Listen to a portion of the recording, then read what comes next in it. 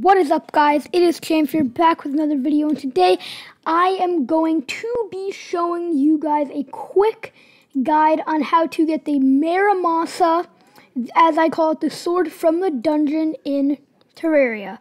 So what you're first going to need to do is you're going to need to use this seed, which I have linked in the description.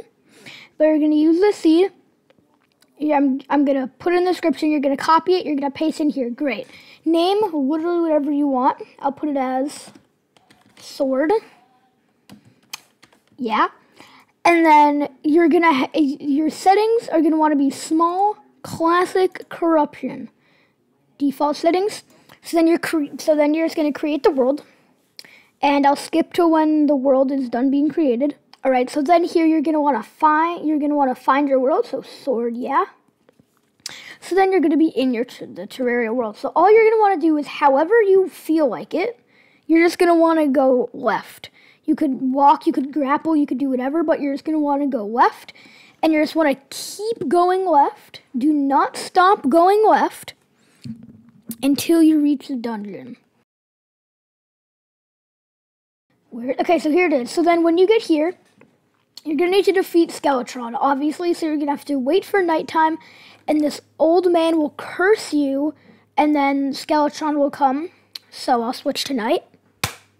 And just a little FYI, you can't actually go down here um, before Skeletron spawns, because there'll be a big rotating head that can one-tap kill you. Where is it? And there it is. So... Definitely do not go down there until you've defeated Skeletron.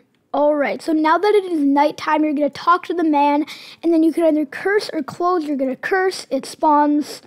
It's a super easy battle, like, just this stuff is going to kill it. I'm not even, literally, my hands are in the air. Anyway, we kill it, great.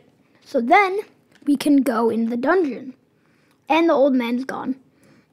So now we can go in the dungeon. And it's really simple to get to the sword. Maramasa, I think is how you pronounce it. So you're going to keep going down, keep going down, keep going down, keep going down. Okay, so this chest is actually where the Maramos is, in this chest, but it's locked. So, I'm going to show you where a gold key is that you can use to open it.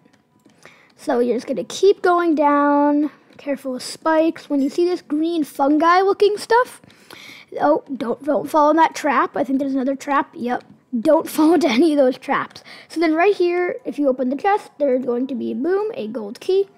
Take the gold key, put it in your inventory, and then we're just going to go all the way back up to the chest, which actually isn't too far. You can use rope if you're if you're earlier in the game all the way back up past the table, and then here you are at the chest, and when you open it, boom.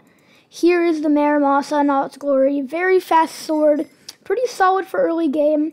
So uh, if you did enjoy this video, make sure to like and subscribe. When you like and subscribe, my video gets recommended to more people, which then can help more people get this sword. So yeah, I will see you all later. Peace.